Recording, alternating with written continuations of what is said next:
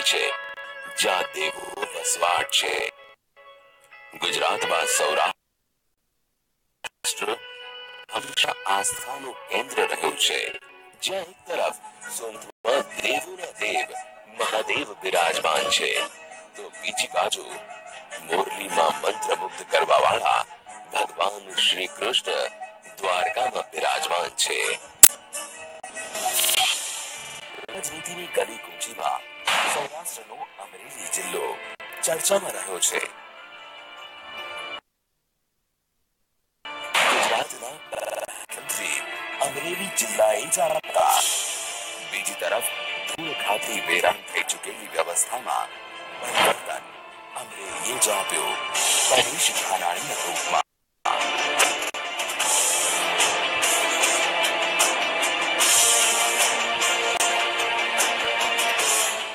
પરેશ ધાનાણી એક બહુ સાધારણ પરિવારમાંથી આવે છે.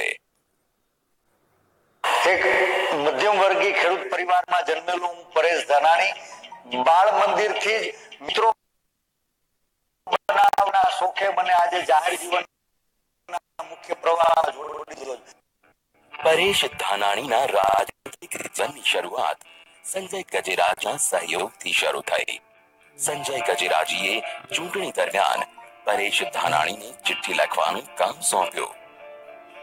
ત્યારે શાયદ કોઈને પણ ખબર નહોતી કે ચિઠ્ઠીઓ લખવા વાળો આ બાળક એક દિવસ ભારતમાં કોંગ્રેસનો યુવા અધ્યક્ષ બની જશે.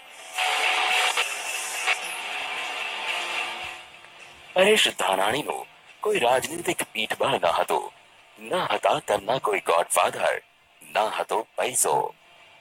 પરેશ ધાનાણીને જ્યારે અમરેલીનો ભાર સોંપવામાં આવ્યો, ત્યારે તેની સામે અનુભવી અને દિગ્ગજ નેતાઓ હતા.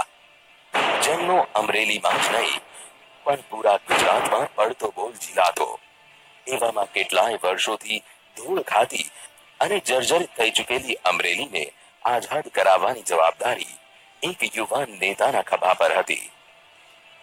લોકોનો પ્રેમ હૂફ અને આશીર્વાદે મને આગળ વધવા માટે થઈને પ્રેરણા મળી છે. અને હું હંમેશા મારા જીવનની દરેક પળને સંઘર્ષની સાથે જોડી અને લોકોની સુખાકારી માટે સફળતા પ્રાપ્ત થાય એના માટે હું હંમેશા પ્રયત્નશીલ જેની પાસે સિવાય નેક ઈરાદા કશું જ નહોતું. પરેશભાઈની ભિડંત એટલે કે મુકાબલો રાજનીતિના પંડિતોની સામે હતો, જેની પાસે પદ, બળ અને પૈસા હતા. ત્યાં પરેશ ધાનાણીની પાસે નહોતું પદ નહોતું બળ અને ન હતા પૈસા કહેવાય છે ને કે જેનો કોઈ નથી તેનો ભગવાન હોય છે બે હજાર બે માં અમરેલીની અંદર રાજ્યના વિપક્ષના એક મોટા ગજાના નેતાની સામે કોંગ્રેસ પાર્ટીએ મને ચૂંટણી લડવા માટેનું પ્લેટફોર્મ પૂરું પાડ્યું कौन कहता है कि आसमान में सुराग नहीं होता एक पत्थर तो तबियत से उछालो यारो બસ.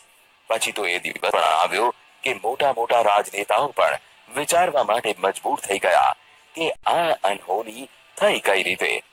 ગુજરાતની રાજનીતિમાં જાણે ભૂકંપ આવી ગયો. અમરેલીમાં કોંગ્રેસની વાપસી ત્રીસ વર્ષ બાદ પરેશ ધાનાણીના નેતૃત્વમાં થઈ અને પરેશ ધાનાણીની એન્ટ્રી પણ. અમરેલીની પ્રજાએ વિશ્વાસ મૂકીને મને સીધો જ ગુજરાત વિધાનસભાની અંદર બેસવામાં સક્ષમ બનાવ્યો ત્યારે એ મારો પ્રથમ કાર્યકાળ હોય કે આજે દ્વિતીય કાર્યકાળ અમરેલી કુકાવા વડિયા વિધાનસભા મત વિસ્તારના જે સ્થાનિક પ્રશ્નો છે એ પ્રશ્નોને મેં વાચા આપવાનો પ્રયાસ કર્યો છે. વિરોધી પાર્ટીઓ પ્રભુના તે જ આ પ્રજાનો પ્રેમ અને મિત્રોના સહયોગથી આજે પણ મારી એ રાજકીય આગળ વધી રહી છે.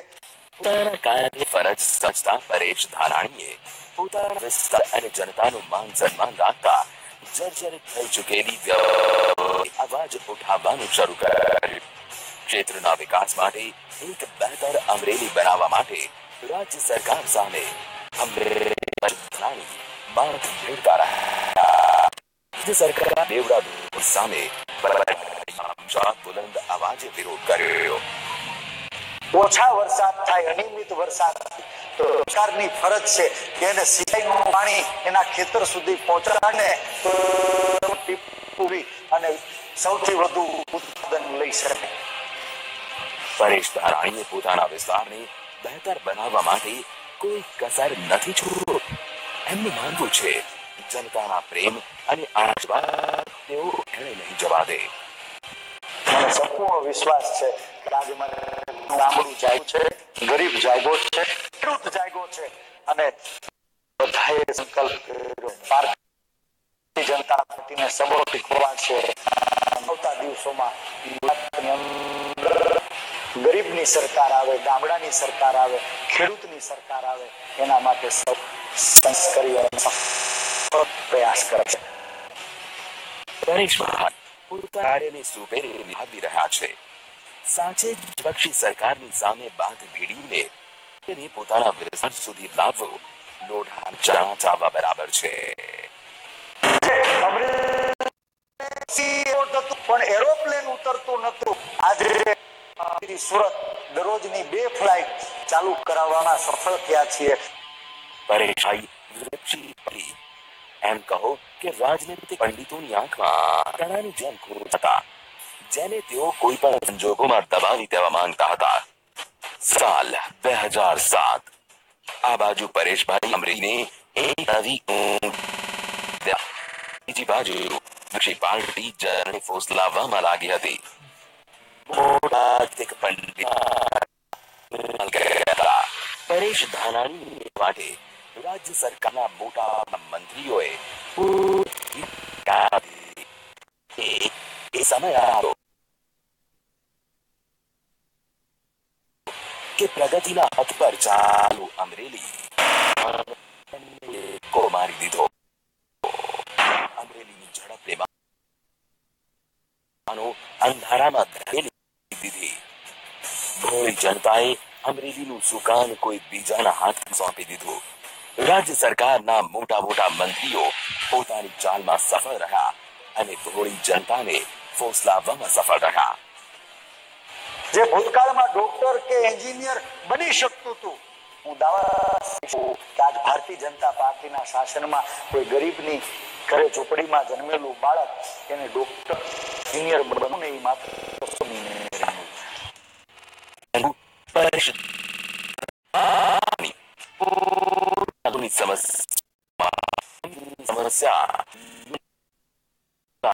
માટે હંમેશા લડતા રહ્યા સમર્પણ જોઈને અમરેલીની ચાએ પોતાનો પ્યાર પરિશુદ્ધ આવ્યો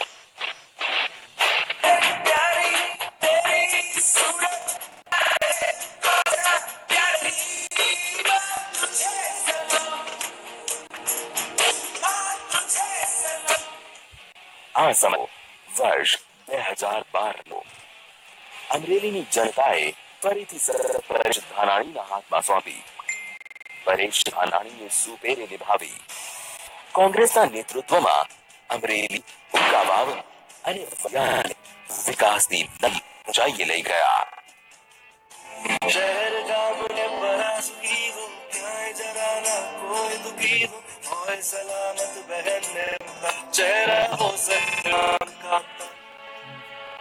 હજાર પંદરમાં અમરેલી ઉકાવાવ અને વડિયા પૂરમાં ડૂબી રહ્યો ત્યારે એક પણ રાજ્ય સરકારના કે કેન્દ્ર સરકારના નામ ન દેખાયા મને યાદ છે ચોવીસમી જૂન વહેલી સવારે ગામમાંથી અમારા માસ્તરે કરેલો ફોન કે પરેશ અમારું ગામ આખું પાણીમાં ડૂબી ગયું છે અને એ ફોનના સમાજ વહેલી સવારે આ ભારતીય જનતા પાર્ટી વહીવટી તંત્રને મેં જગાડવાનો પ્રયાસ કર્યો કે કાળજુ કંપ્યું એવી સ્થિતિ સમય ટૂંકા સમયની વચ્ચે લોકો જીવન છે સંઘર્ષ કરી અને આ સુતેલી સરકાર તેમને સહાય કરવામાં નિષ્ફળ નીવડારે હું અને મા કોંગ્રેસ પરિવારની આખી ટીમ જનસામાન્ય અને કેટલી સ્વૈચ્છિક સંસ્થાઓએ આ દુઃખદ ઘડીમાં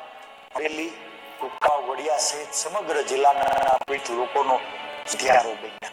ફૂડ અને રાત્રે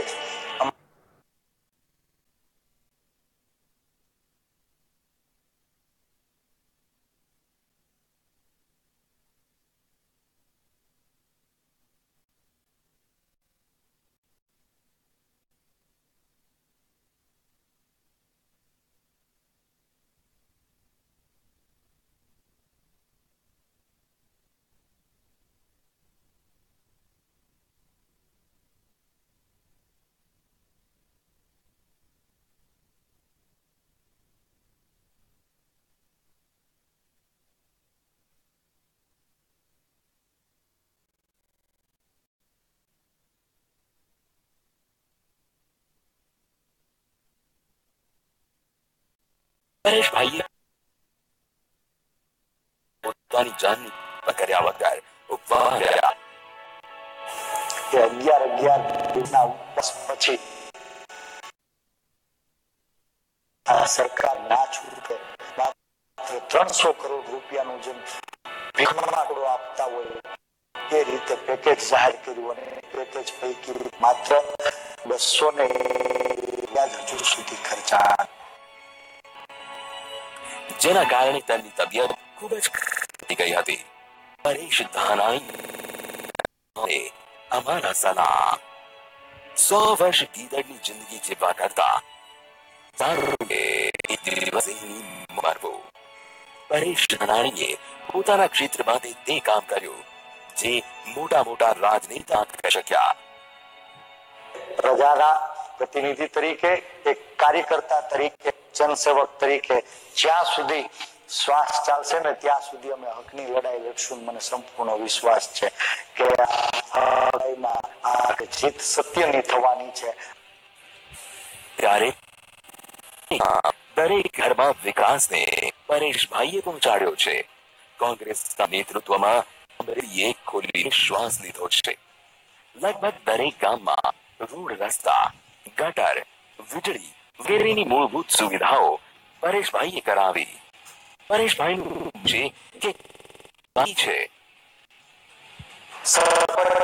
ગુજરાત અને જ્યારે તક પ્રાપ્ત થશે ને તો મારી સાથલી સિલાઈ યોજના જે ભારતીય જનતા પાર્ટીની સરકારે કાગળમાં એને અવરોધી રાખી છે જમીનમાં ઉતારવાનો અમે પ્રયાસ કરશું અને મને સંપૂર્ણ વિશ્વાસ છે કે દરેક પ્રયાસ એને સફળ કરવા માટે અમરેલીના લોકોનો સાથ મળશે. સફર લાંબી છે અને ચાલવાનું ઘણું દૂર સુધી છે. કે આવતા દિવસોમાં રોજગારના દરવાજા ખુલશે અને મારા ગામડા ગામનો નવયુવાન જે ભણી ગણી અને રોજગાર માટે દર દર ભટકી રહ્યો છે એના ઘરના આંગણે રોજગાર મળશે.